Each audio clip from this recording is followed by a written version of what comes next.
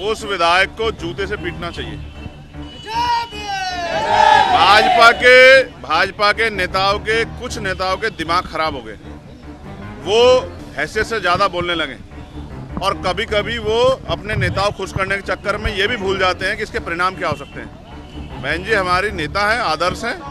उनके सम्मान से अगर उनके सम्मान में कोई गलत शब्द कहेगा तो फिर भीम आर्मी के लोग आज़ाद समाज पार्टी के लोग उससे उसके बाद आज मैं धन्यवाद देता हूँ और आपके माध्यम से, क्योंकि आज मंडल कमीशन के अध्यक्ष डीपी मंडल जी की जयंती भी है। उन्हीं की जयंती के अवसर पर मामला रामसूर वर्मा जी के, इन दोनों ही महान पुरुषों के जयंती और उनके अवसर पे जो है, एक कार्यक्रम हम लोगों ने सामाजिक न्याय सम्मेलन हमने रखा है बांदा में, उसमें मैं शामिल होऊँगा। प्रदेश में जिस तरह के हालात चल रहे हैं, उसमें जिस तरह से अखबार पढ़ने पे तमाम महिलाओं के साथ हत्याएँ, रेप, चोरी, डकैती, भ्रष्टाचार की खबरें आ रही है, ये उत्तर प्रदेश की कानून व्यवस्था और जो गरीबों, कमजोरों, किसानों की दमन की राजनीति चल रही है, ये उसका सच है।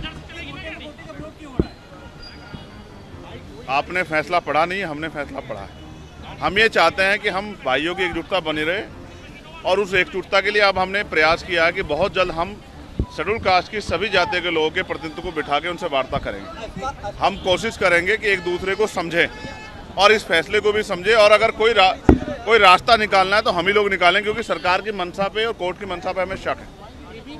आज तक सुप्रीम कोर्ट ने कोई भी फैसला शेड्यूल कास्ट शेड्यूल ट्राइब के हितों के लिए नहीं दिया।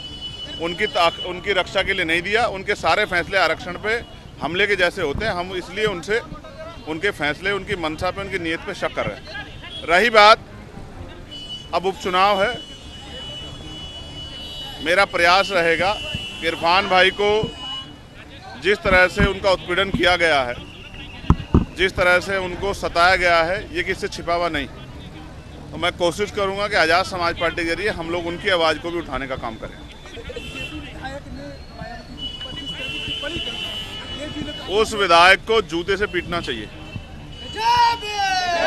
भाजपा के भाजपा के नेताओं के कुछ नेताओं के दिमाग खराब हो गए।